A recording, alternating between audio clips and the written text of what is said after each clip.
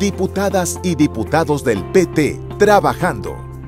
La diputada Ana Karina Rojo Pimentel propuso reformar la ley para establecer asistencia personal a las personas con discapacidad como un instrumento que brinde independencia y calidad de vida.